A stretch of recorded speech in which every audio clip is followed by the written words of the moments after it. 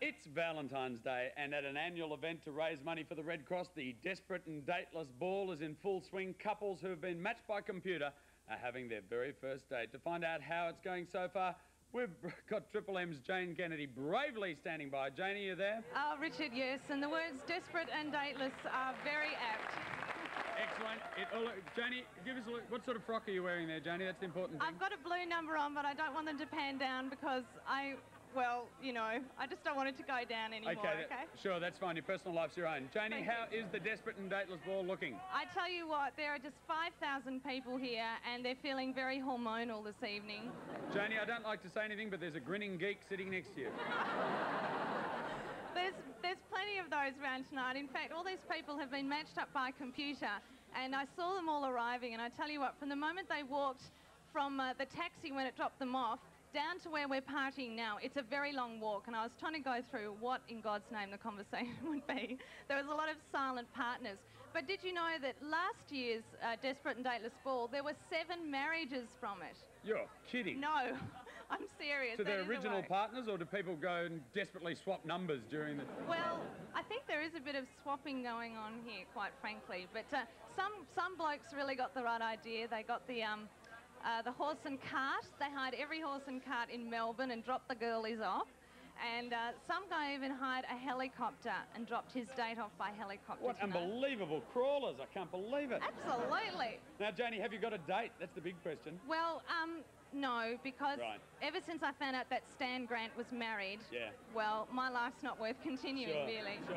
Hey, I understand that, but Janie, be brave. You've got to go on. I've got a I cat know. here whose career's shattered. He's going on. I might find a date for that Cat, you never know. All right, see if you can pick it. No, don't. There's a terrible line there. Let's leave it. I'm sorry, you Gumpy's looking- giving me a hard time We'll, here. we'll, we'll come back to you, Janie. You have fun with them. We'll, we'll talk to you later on when they're more drunk. Thanks, Richard. Okay.